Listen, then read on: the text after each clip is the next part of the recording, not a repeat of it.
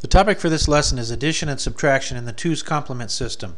Subtraction may be performed by representing both a and minus b in the 2's complement form and adding.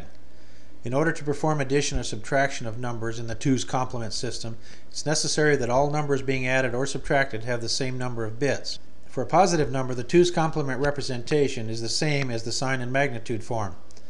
Let a equals plus 8 and b equals plus 3.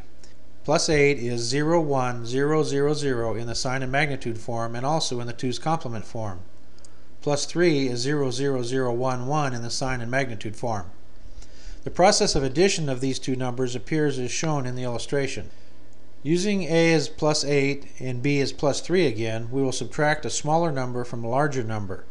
To solve for a minus b, we express plus 8 and minus 3 in the 2's complement and add.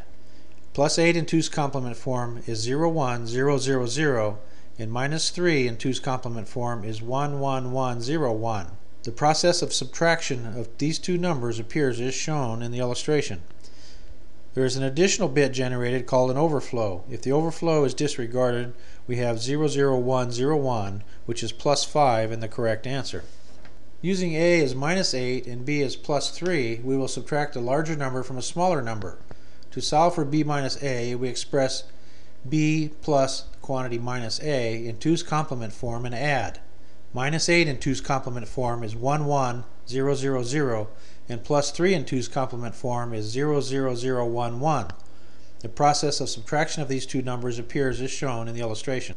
Now let a equal minus 8 and b equal minus 3. We will now add two negative numbers. a plus b can be determined by using an adder.